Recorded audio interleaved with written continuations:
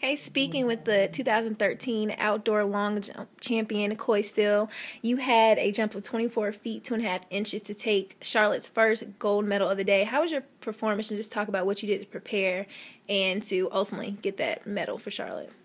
Uh, yes, ma'am. Well, uh, I came into the competition seated first, and so I knew that I needed to perform well for my team. And I actually fouled my first jump of the competition, which wasn't good. So I wanted to come back with a good jump and hopefully set the tone for the rest of the competition and put pressure on the other competitors. And my second jump was my furthest jump, 738, 24.2, and that was good enough to win. Good. And just talk about what it would mean for you and your teammates to kind of close out the A10 with a sweep. You guys um, swept the indoor championships. What would it just mean for you and your team to kind of close out the A10 with more dominance?